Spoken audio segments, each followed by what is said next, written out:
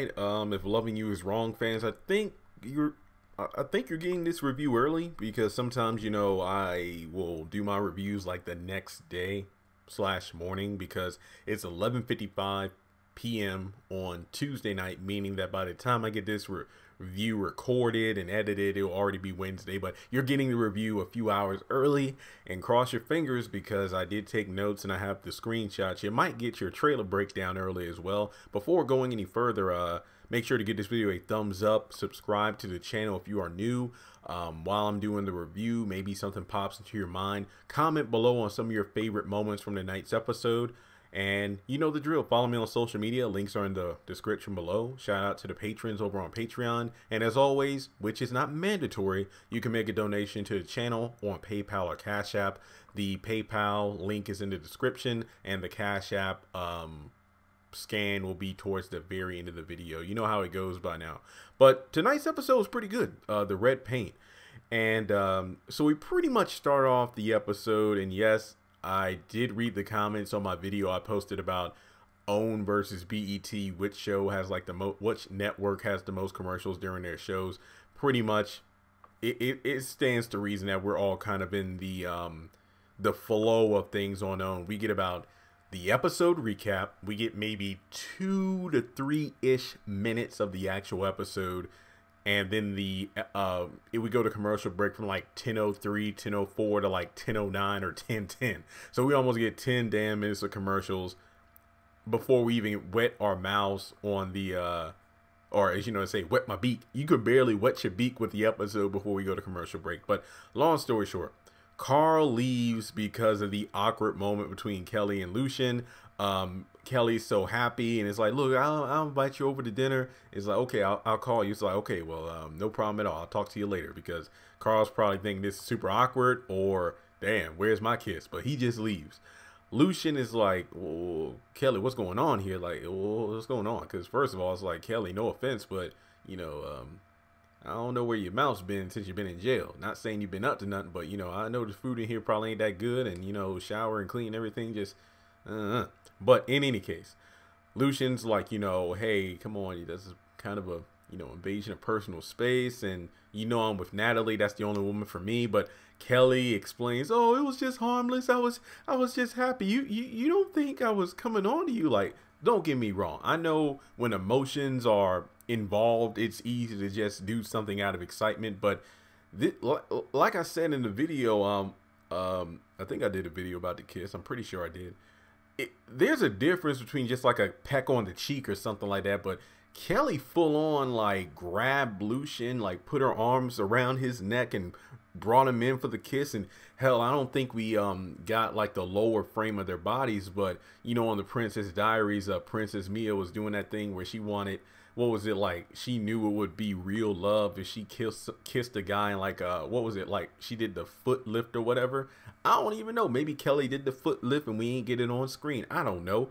But all i'm saying is what kelly did is the prime example of girls who like to flirt but say oh no i wasn't trying to lead you on. First of all you drew me in for the kiss. You literally just slapped one on me while I was just doing my job. I was unlocking the gates, and guess what? You think you could just stroll on in, pull me up, well, excuse me, pull me down to your height for a kiss. It's like, come on now. So Lushion's trying to like say, okay, um, let's, well, what's going on here? This, this, this is what?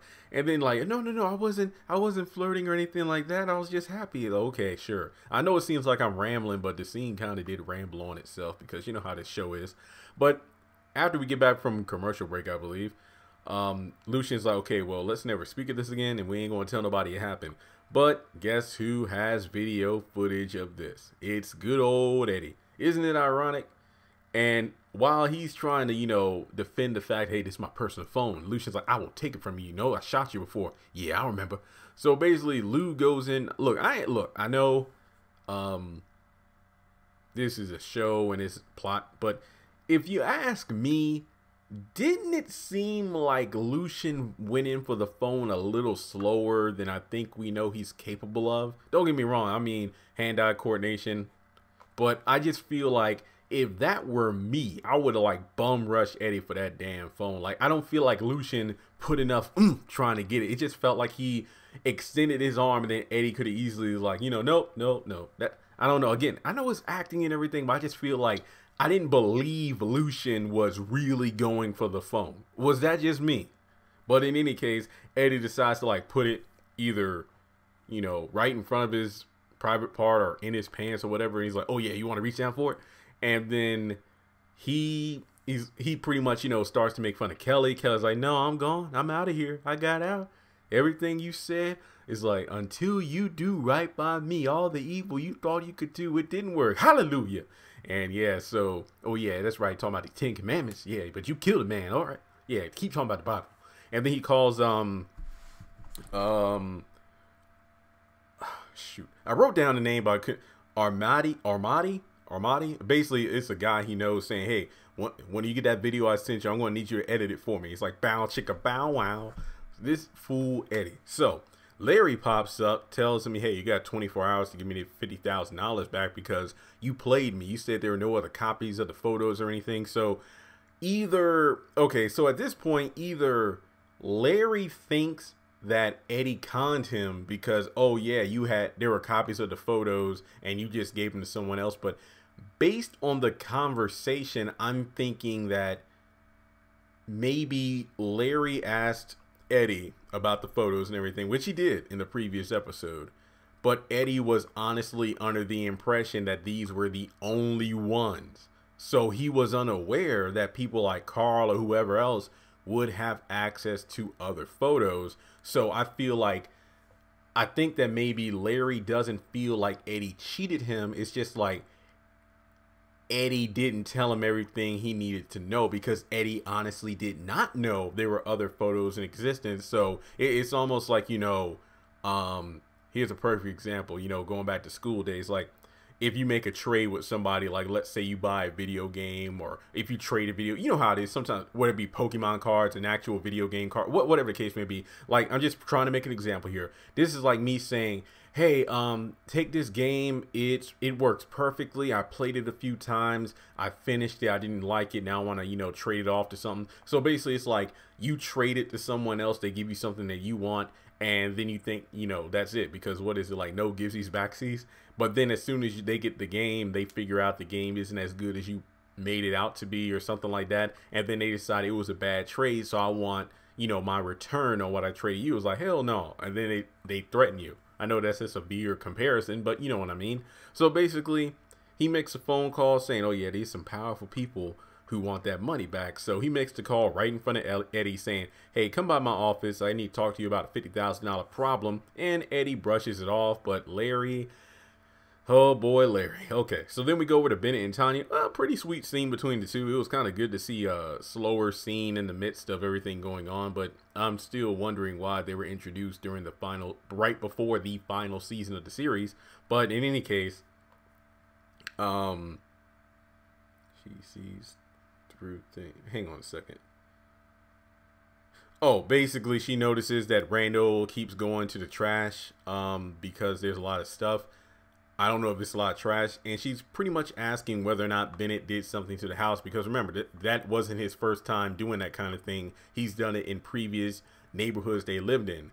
And um, he asked whether or not, you know, Randall has been talking to her or anything. It's like, no, no, no, he hasn't been doing anything because she finds him interesting and, you know, she's curious about him. It's like, oh, yeah, was it like a dork? He never leaves home. First of all, I take offense by that because, well, I work from home too and I don't really go out like Randall does. So it's like, am I a dork?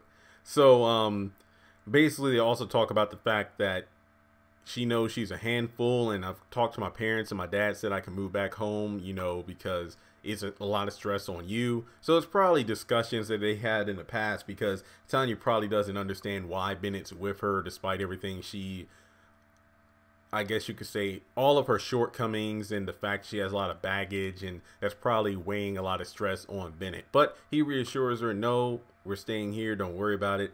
And um, then we go over to Bennett and Randall. Randall's taking out the trash. He meets up with Bennett in the middle of the street because remember, there's rarely any traffic in this um, neighborhood. And even when there is, people get hit by cars like Brad did last week when Esperanza was driving.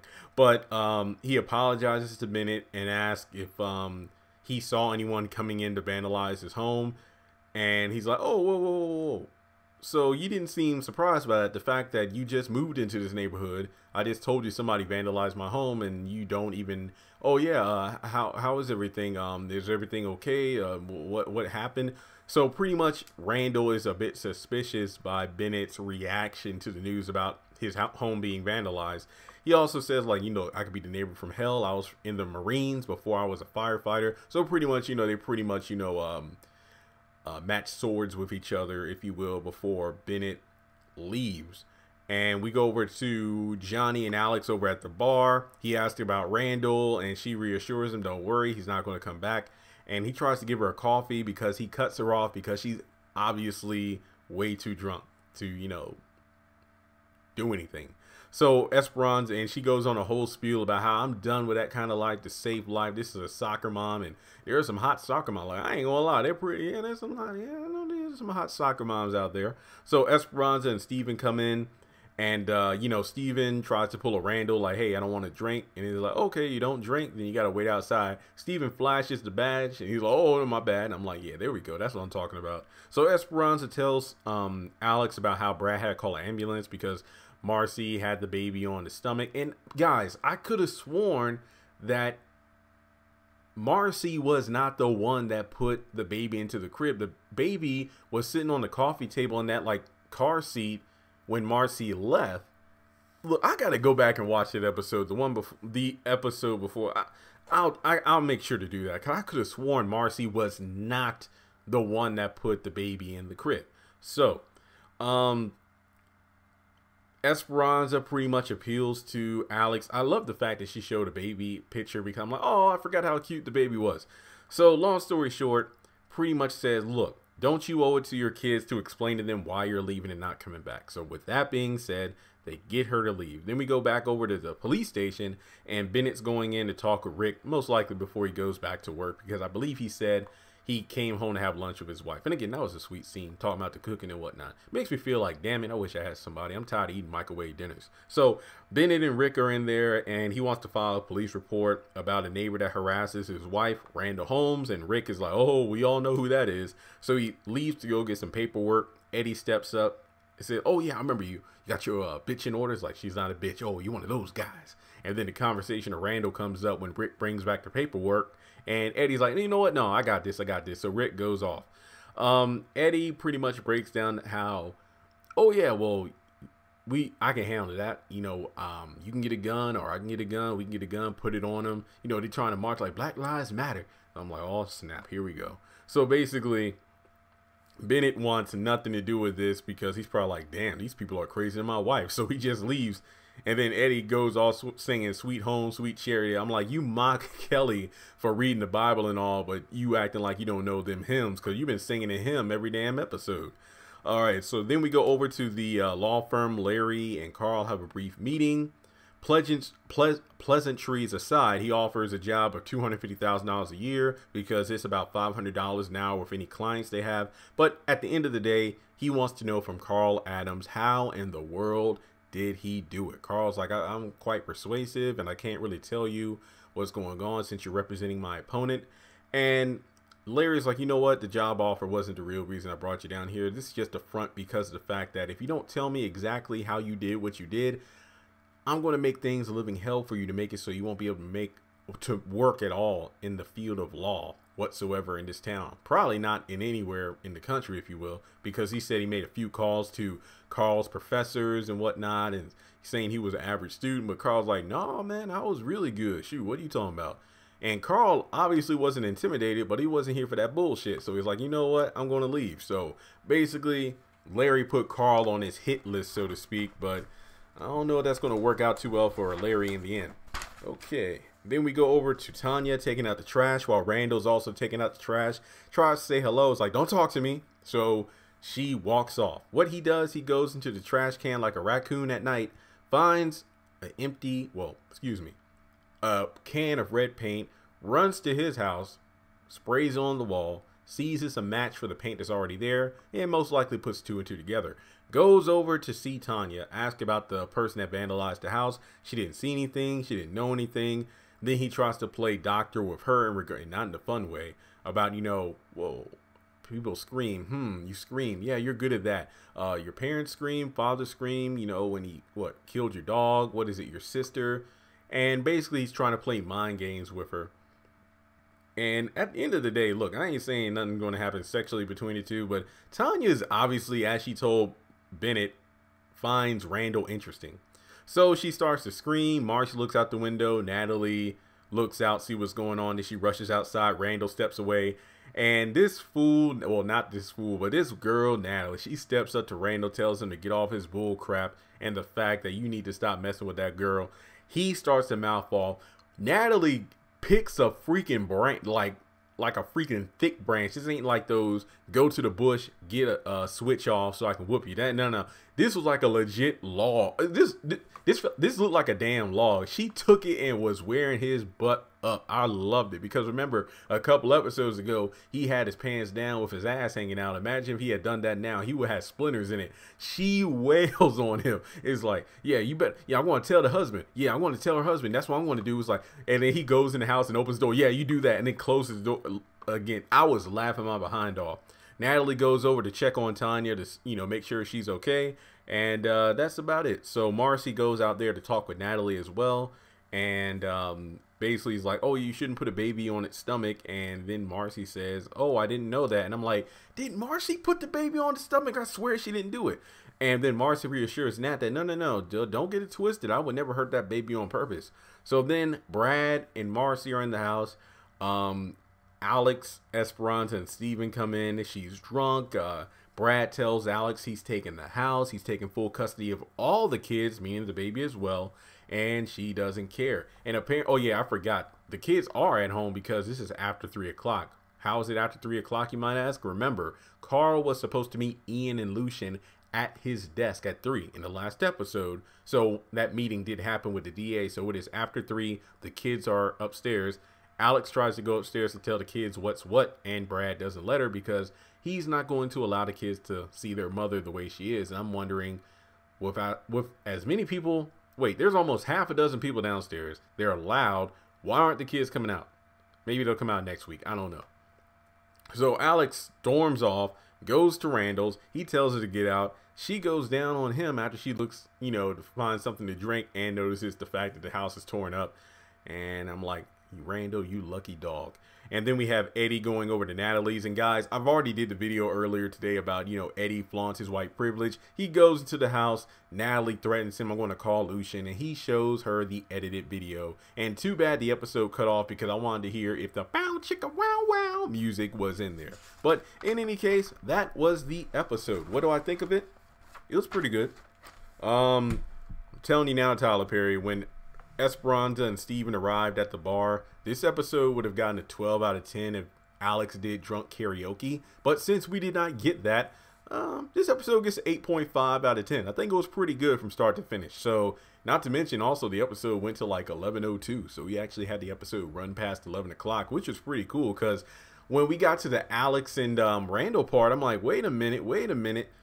What about that scene uh, with uh, with um, Eddie and Natalie. Is that not going to be in this episode? What's going on here? But nope, they put it in there. It was just uh, either too many commercials or I don't know. But in any case, I thought it was a pretty good episode.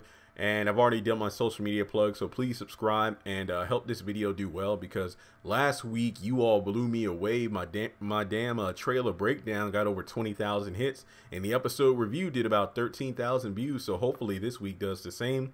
And I'm going to take a quick break, get some water. You know, you know, mouth getting kind of dry here, and um, you know, just like the episode, trying to wet my beak at the beginning of the episode, but we got commercials. So yeah, be on the lookout for my episode trailer breakdown for number eight, The Firm, airing May 19th. So have a great day, everyone, and stay safe.